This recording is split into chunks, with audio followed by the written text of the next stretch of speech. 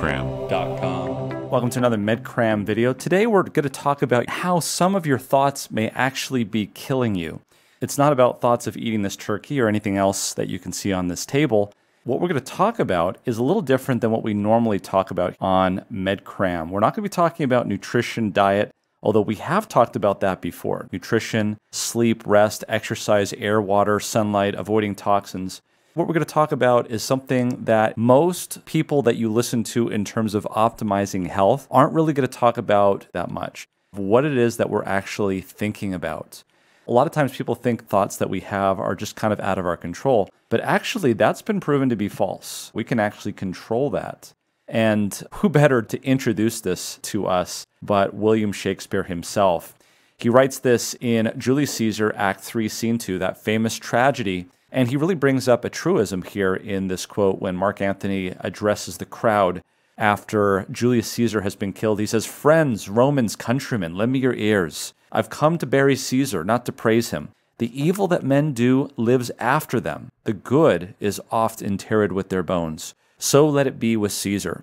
And so, what he's saying here is a truism, which is that we rarely remember the good things that people do, but rather the evil things that live after them. And that's the stuff that we focus on. And really, it begs the question does your mental approach to life affect your body, your immune system, and your health? And I think you'll be surprised at what the research is showing. And we always stick to the research here at MedCram. What does the data show? You may be asking first, who is MedCram? I'm Dr. Roger Seheult. I'm board certified in internal medicine, pulmonary critical care, and sleep medicine, and also the co founder of medcram.com, where we explain medicine clearly. We have hours and hours of medical videos where we explain topics. We also have continuing medical education. Our videos are used by publishing companies and medical schools and other professional schools alike to educate. Let's get to the topic here at hand. For that, we'll look at this article that was published in 2016. And the title was Optimism and Cause Specific Mortality, a prospective cohort study. So here they were looking at a number of patients. And this was actually the nurses' health study. So these were primarily women. And yes, men can be nurses as well, but this is what they called it back then. And they basically looked at a number of things. They say here that growing evidence has linked positive psychological attributes like optimism to a lower risk of poor health outcomes, especially cardiovascular disease. It's been demonstrated in randomized trials that optimism can be learned. So, this is a thought process that you can actually learn to do. If associations between optimism and broader health outcomes are established, it may lead to novel interventions that can improve public health and longevity.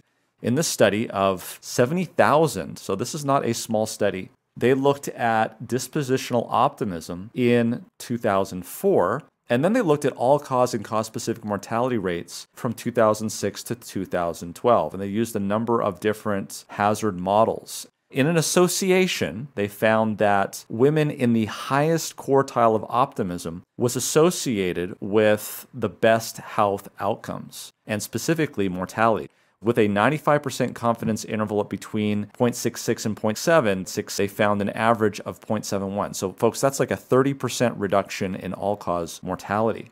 Even after they added health behaviors that could be associated with this, health conditions, depression attenuated but did not eliminate the association. So, still, even there, there was a 9% reduction in that so associations were maintained for various causes of death, including cancer, heart disease, stroke, respiratory disease, and infection. Given that optimism was associated with numerous causes of mortality, it may provide a valuable target for new research on strategies to improve health. But wait a minute.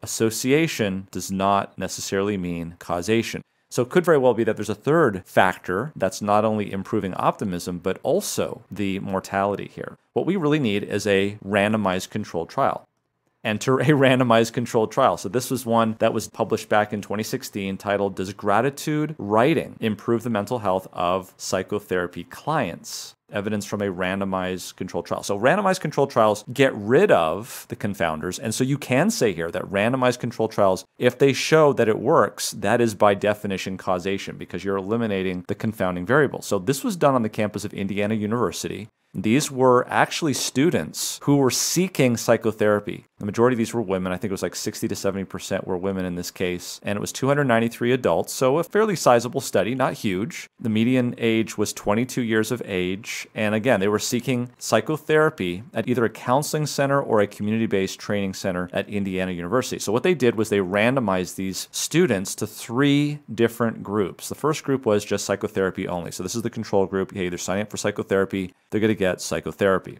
But the other two groups were interesting. So the second group was psychotherapy plus expressive writing about stress experiences. So essentially, they're reliving their stressful experiences and putting it down on paper. This is kind of like the evil lives after them, according to Shakespeare. But the next part is the good interred with their bones because here they had psychotherapy plus something called gratitude writing. This is where they write a letter to somebody in their past that they have gratitude to because they did something for them or they felt that there was a connection. And they would write a letter each week for three weeks. So this is just three letters that they're writing.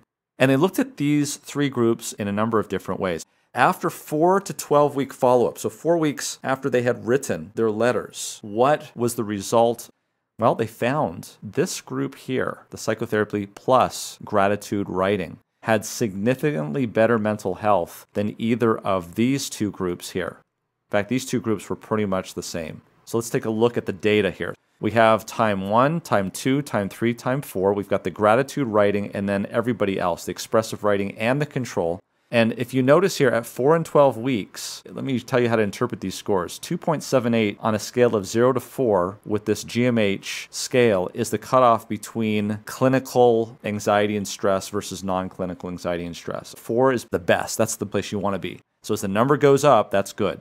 2.78 is the clinical cutoff. So below 2.78 is not good.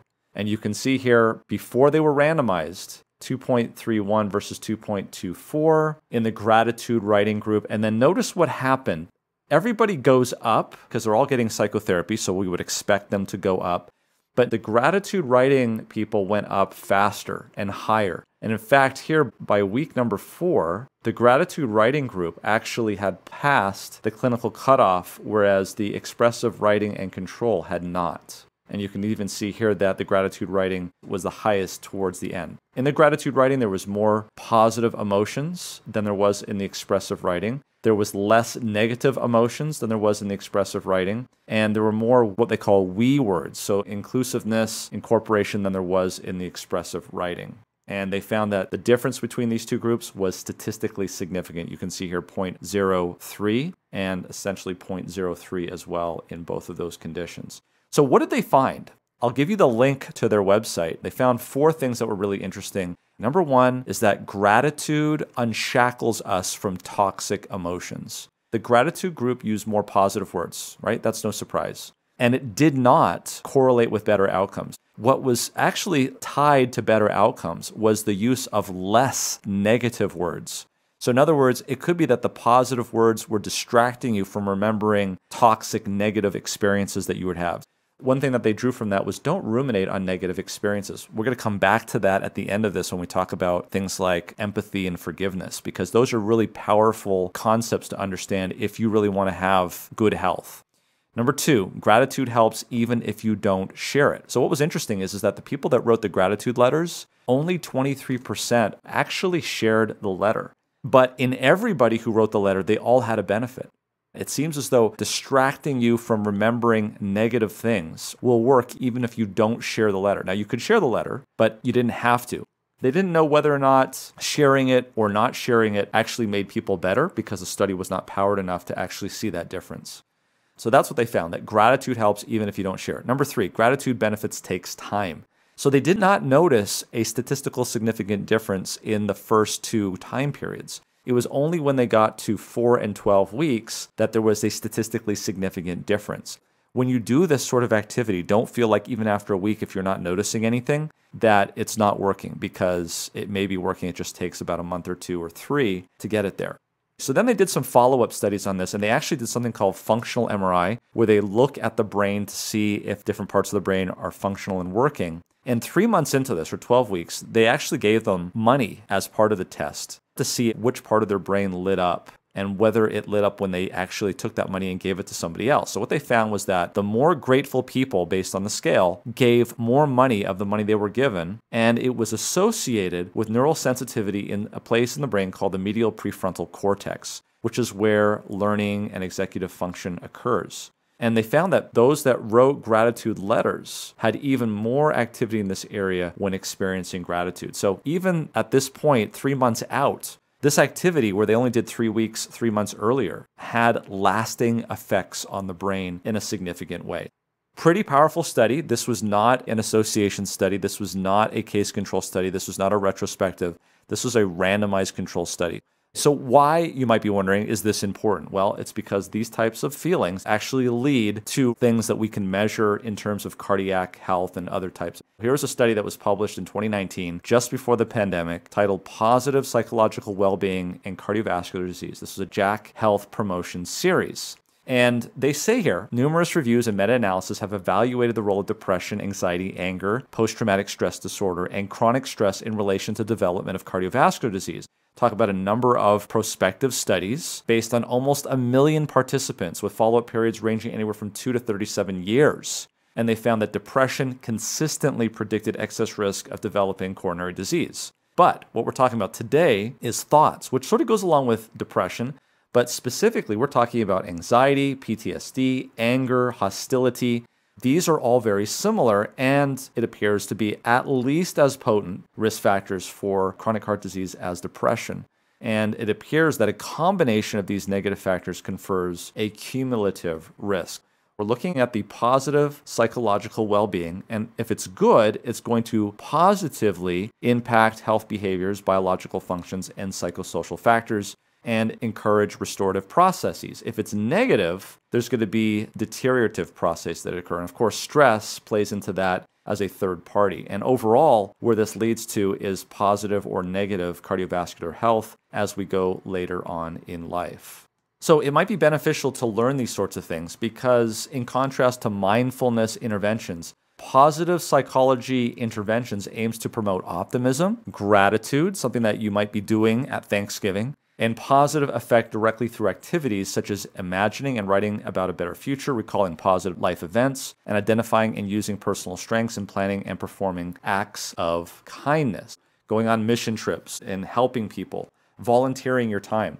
These can be very straightforward and easy to do. These sorts of things have been found to improve indicators of psychological well being, such as optimism, in the short term, with some suggestion of sustained effect. Now, there have been a number of meta analyses done in 39 randomized controlled trials that found that positive psychological interventions were associated with significant small effects on well being and depression, with sustained effects for three to six months at follow up. This may be one of our major pillars that we really aren't talking about in society. We talk a lot about nutrition, the right dietary supplements, we talk about sleep and rest. We've talked a lot about that here at MedCram and the role of exercise, fresh air, water, sunlight, avoiding toxins. And what we're saying here is that constraining our thoughts to appropriate things may actually be also one of the pillars of optimized health. We sort of referred to this at the beginning in terms of anger and things of that nature. One of the things that has a lot of literature in looking at this is on forgiveness and empathy and understanding. So, people who harbor resentment, feelings of anger, this has shown very clearly to promote bad health and specifically cardiovascular disease, particularly in men. I just want to clarify what the science believes that forgiveness is and what it leads to in terms of empathy and understanding. It's more than just moving on. Somebody just kind of shrugs it off and moves on a little bit more than that. It's not just doing that. What it doesn't mean is that there's no justice. So if somebody does something to you, justice can actually happen and you can still have forgiveness. What happens outside of you in the justice system is different than what happens internally. So people can have justice, but still not forgive, and vice versa. That's not what we're talking about here. The other thing that it's not is a sign of weakness. You might think that somebody might forgive somebody because they're just not in a position of power to take retribution, so it's just easier to forgive. That's not what we're talking about. Actually, forgiveness is not a sign of weakness. It actually takes a lot of strength to be able to forgive someone and to move on and have empathy and understanding for the very person that may have done something very bad to you it is linked to reduced anxiety, depression, major psychiatric disorders, fewer physical health symptoms, and actually lower mortality. I always hear the expression, what is empathy? It's walking in someone else's shoes. Well, I kind of like the quote from Brene Brown in Atlas of the Heart, where she says this We need to dispel the myth that empathy is walking in someone else's shoes. Rather than walking in your shoes, I need to learn how to listen to the story you tell about what it's like in your shoes and believe you even when it doesn't match my experiences. I think this is really key. I can think of many examples, even with the recent pandemic, where a lot of us in different walks of life experienced the pandemic in completely different ways. My experience in the pandemic was working in an intensive care unit where people all around me were dying. And that's a very different experience from somebody who works out in the business sector, who saw that their jobs basically got shut down and they had no business. And so their view of the pandemic may be completely different than the view that I had of the pandemic. And we have to realize that when we form our opinions, it's based on our experiences. And when people say things that doesn't fit our experience, maybe they aren't coming up with this because they have some agenda or because there's some ulterior motive it may be because of their experience, and we have to treat that with validity, regardless of what our experiences are. If we really want to have empathy for other people and try to understand them, I think that's important, especially if we're worried about our own health, because this impacts our health when we have anger or resentment towards other people. So, this was an interesting study about forgiveness, and this was published back in 2016, and it's titled Forgiveness, Stress, and Health A Five Week Dynamic Parallel Process Study they wanted to see what is the order of events in terms of cause. They say here, we addressed this issue by examining how forgiveness, stress, and mental and physical health symptoms change and relate to one another over five weeks. They hypothesized that increases in state levels of forgiveness would be associated with decreases in perceptions of stress, which would in turn be related to decreases in mental and physical health symptoms. So, what they said here is that they believe that forgiveness would lead to a reduction in stress, which would then lead to improvements in health. That may not be completely apparent. They had a interesting way, and I won't get into the details of this, but I will leave a link in the description below so you can read the study for yourself. They wanted to also test, based on the statistics, whether or not it was better health that led to decreased stress, which then led to increased forgiveness because we know that forgiveness is linked to better health. We know that. All of the epidemiological studies show that. So, health versus forgiveness. But we can't tell which one is coming first. They tried to do that using some sophisticated statistics in this five week period of time. It could very well be that increased health could take away stress. That seems reasonable. And if you're under less stress, you're more likely to forgive people. So, which way is it? So, what they did is they recruited a large community based sample of 332 young, middle aged, and older adults. And each week for five weeks, participants reported on their levels of state forgiveness, perceived stress, and mental and physical health symptoms. They found that levels of forgiveness, stress, and mental and physical health symptoms each showed significant change and individual variability in change over time. And they used that variability to see if their hypothesis was correct. And they actually hypothesized, let's go back here, that this was not the case, but rather forgiveness leading to improved health. And they said here, as hypothesized, increases in forgiveness were associated with decreases in stress, which in turn related to decreases in mental but not physical health symptoms. In other words, forgiveness went to stress, went to health. The reverse effects model that better health led to less stress, which improved forgiveness, provided a relatively poorer fit, which means that they believe the first model was correct. Their conclusion was that this study is the first to provide prospective longitudinal evidence showing that greater forgiveness is associated with less stress and, in turn, better mental health. Strategies for cultivating forgiveness may thus have beneficial effects on stress and health. Let's take a look at whether or not this is true. And to do that, we turn to a pretty old study, 2009, from the Journal of the American College of Cardiology, otherwise known as JACC, titled The Association of Anger and Hostility with Future Coronary Heart Disease, a meta analytic review of prospective evidence.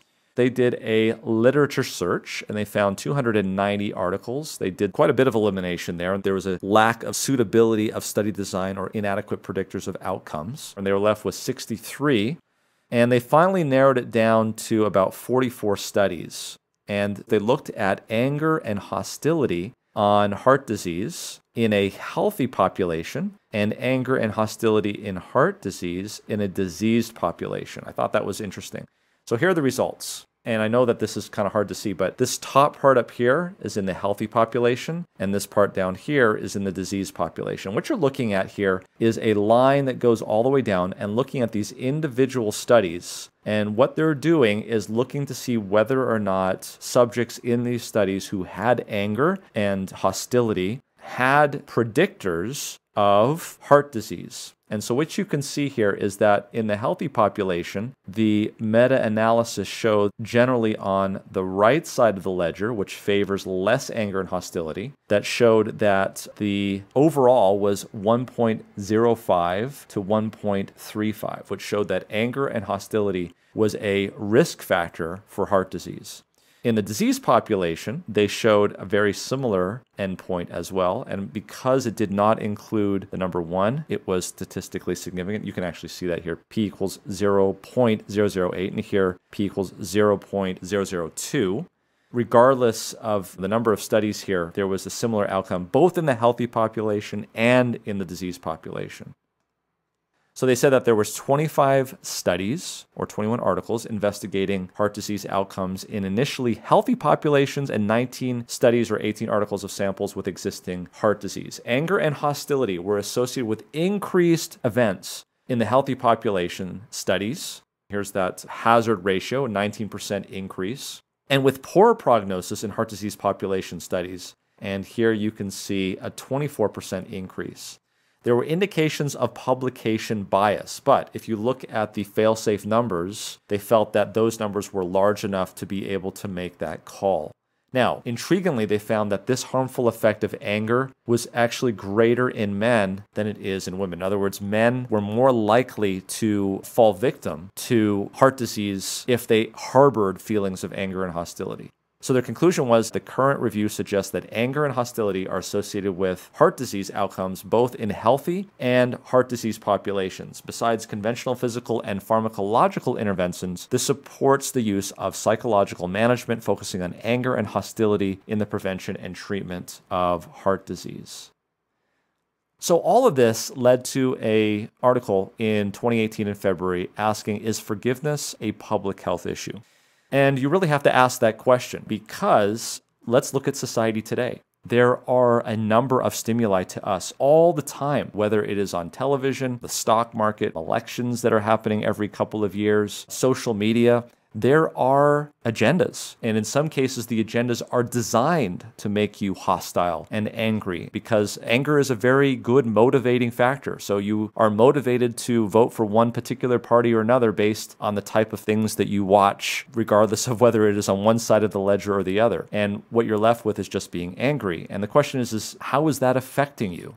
We know that anger is a very motivating factor one of the things that I have noticed personally is I am very wary of anybody who produces any kind of social media content where they are assigning motivation to an individual or a group without knowing that for a fact. I think that's a red flag for me because it doesn't stick to the facts. And we can never really know someone's motivation. You know, generally speaking, to figure out motivation, we need to have a judge and a panel of 12 people. It's very easy to associate motivations, and that can cause people to be quite angry. It affects us sometimes more than it affects them. This is kind of an interesting concept because we spend a lot of time on nutrition because we want to be healthy. We spend a lot of time talking about sleep and rest, about exercise. We even have gyms that we go to to make sure that we're healthy and we make sure that our air is clean. We go to great lengths to filter our water or buy bottled water to make sure that we're healthy. We're trying to get outside and get some more sunlight. We're avoiding uh, toxins and things like that. We're buying organic this and organic that and making sure that things are BPA free. But the question is are we putting enough thought, if you don't mind the pun, in terms of constraining our thoughts? because I believe that this is actually negating a lot of the positive benefits that we might be getting. This has been known for a long period of time. This idea of constraining our thoughts to things that are not negative can actually have a tremendous impact on our health. A notable health reformer said earnest workers have no time for dwelling upon the faults of others. We cannot afford to live on the husks of others' faults or failings. Evil speaking is a twofold curse falling more heavily upon the speaker than upon the hearer. He who scatters the seeds of dissension and strife reaps in his own soul the deadly fruits. The very act of looking for evil in others develops evil in those who look. By dwelling upon the faults of others, we are changed into the same image. And so the question is Is it possible that the benefits of diet and fasting, and sleep, and sunlight, and exercise, if we're not careful, could be completely negated by feelings of anger, resentfulness, ungratefulness, unforgiving, and stress. That would certainly be a shame. And I think we should make an extra special effort, especially as I'm recording this here on Thanksgiving week. When we come to Thanksgiving, maybe we should take the name of that holiday a little bit more seriously. Thanksgiving here in the United States is in November, but there are many, many other similar holidays around the world. And so this really is a perennial thing that we shouldn't be just doing once a year, but all the time. And speaking of which, all the time, we at MedCram all the time are up, available, and ready to educate. If you enjoyed this and want to support us, please visit us at medcram.com for the latest continuing medical education and videos. I hope you start to think more positively and dwell less on the negative, and perhaps even think about a few people that you might want to write some gratitude letters to, or even maybe forgive. Until next time, thanks for joining us.